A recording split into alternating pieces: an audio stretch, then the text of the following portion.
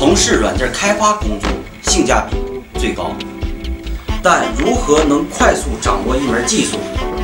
字不如表，表不如图，图不如视频。从今往后，我就是你身边的 IT 讲师。学编程其实是一件很苦的事儿。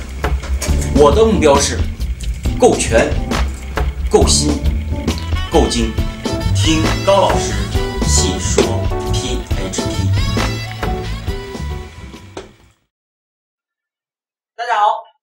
我是熊联的讲师高若峰。大家好，我是妹子。妹子，上节课呢，咱们讲了一些数组声明的特性，对不对？嗯。咱们说了，在 PHP 数组声明有多种方法，对吧？那这节课呢，咱们介绍另外一种声明数组方法，也是非常常用的啊。那我们看一下，就是用这个函数，来，咱们把笔记列出来，使用哪个函数呢？这块使用 array 这个函数来声明数组。其实说它是函数，它并非是一个真正的函数，跟咱们 include 呀、echo 一样，是相当于一个系统指令。比如说，我们用这个判断。如果什么 function 下划线 e x i s t s 判断这个 a r a y 存不存在呢？我们看一下，如果这样的话，我们就输出存在，对吧？否则我们输出呃输出什么不存在，对不对？那我们看一下结果是存在还是不存在呢？cost test 点 php，哎，这不存在，对不对？嗯，但是呢，你查手册，它的确确确什么是在的，对不对？像这样的函数有很多，也不算太多，对不对？嗯，十几二十个、几十个吧。啊，但是你可以总结一下啊。那用它声明数组，那它们声明数组有什么好处呢？如果你一个一个像前面咱直接复制声明方法的时候，那列的长，代码比较长，对吧？看上去不像是一个整体，还像是零散的变量声明，对不对？只不过用中括号或者用花括号那个下标把它归纳到一个变量里去了，对吧？而如果我们用这种方法声明的话，用这个函数，对吧？里边的每一个元素相当于一个参数，这种感觉更像是一个整体，听懂了吗？比如说这里边，啊，a a，b b b，c c c，d d d。对吧？这样的话，我们就直接在这里边声明好了四个元素，是不是相当于一个函数的四个参数啊？对吧？那妹子想象一下，数组的元素都是有下标和值的，那这四个元素的下标应该是多少？大家也可以想一下，索引，对，默认是索引的啊，默认是什么？索引的下标。而且怎么的，是从零开始的，对，和咱们之前那个声明中括号里边不写东西是一样的，对不对？来，我们看一下，我们要想知道这个数组长什么样，我们直接 print r 打印一下这个数组，是不是就可以了？好，我们来运行一下，看数组下标从零开始，对不对？嗯那有的说了，我们在这里边，我们能不能指定随意指定下标呢？当然可以，数组既然由下标和值组成，对不对？下标你就可以任意指定，对吧？那好，我们怎么指定呢？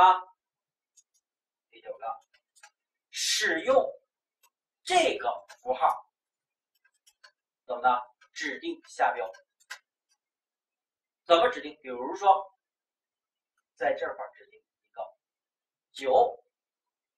看到了吗？下标还是有索引下标和字符串下标之说，对不对？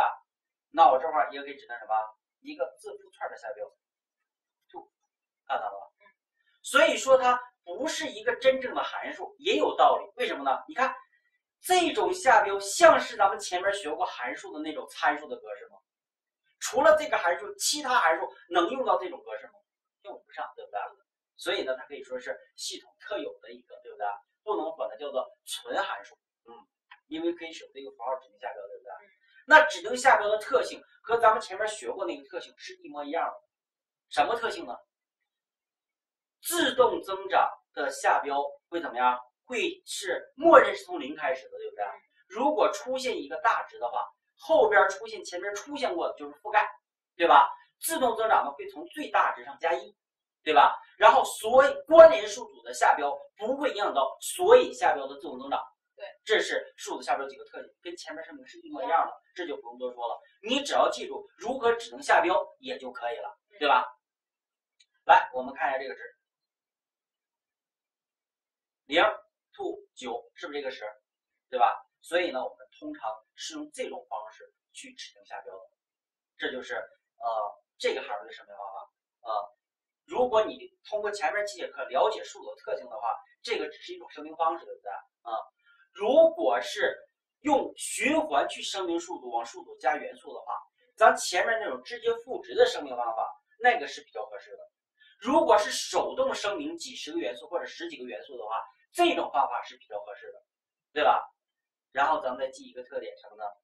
在 PRP 里边还有一个新版本里边，比如说 PRP 五点四，对吧？以后可以像什么其他语言一样声明数组了。其他语言怎么声明呢？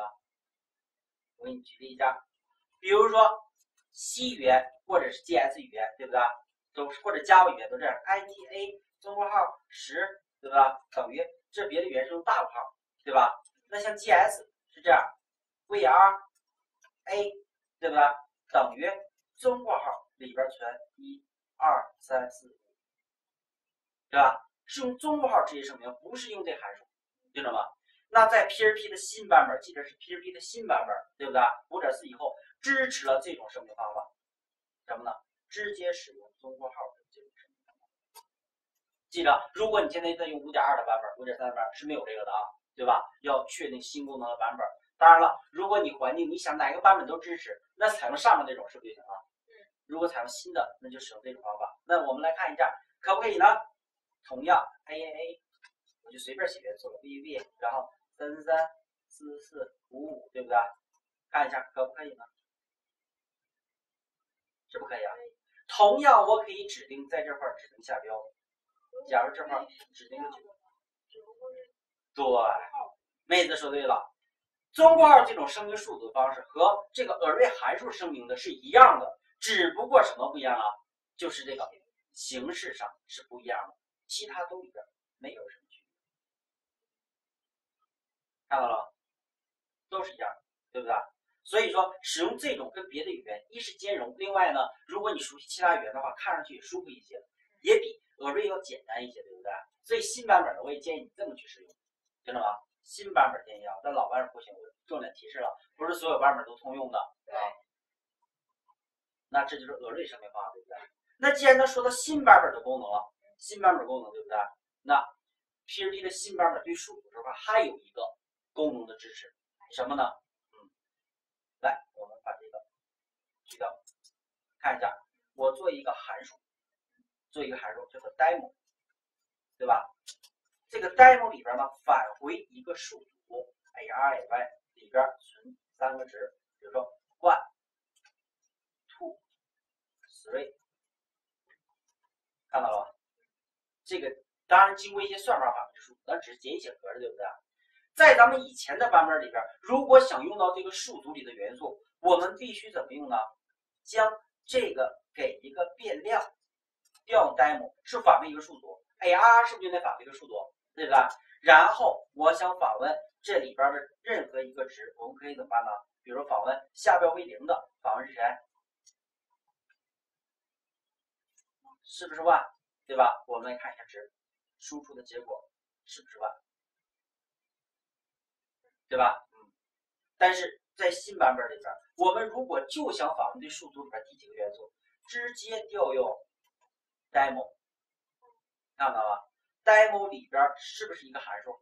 这个函数返回是不是数组？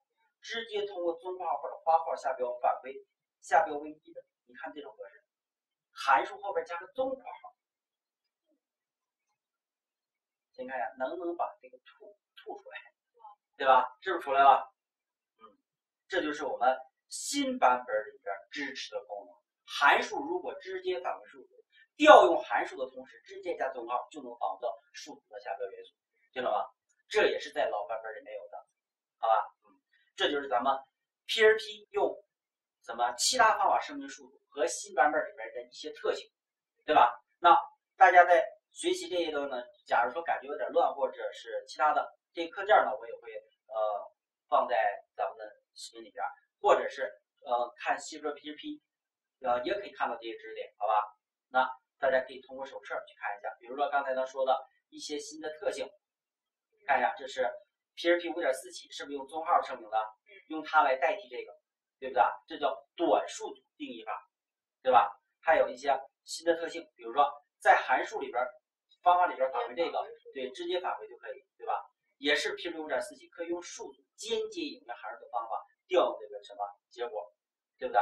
之前是通过一个临时变量，像以前的方法都是这个。把它赋给一个变量，然后呢，通过变量来访问这个元素。现在我们可以直接调用这个来访问，对不对？那课件上的呢，和我们刚才写的例子只是名称上有一些不同，对不对？其他还是相同的。嗯，这就是我们呃这节课跟大家介绍一个 array 声明数组的一个新的方法，对吧？啊，其中呢介绍了几个知识点，特别是 PHP 五点四以后加的新功能。嗯，好。谢谢大家，咱们这节课就先讲到这里。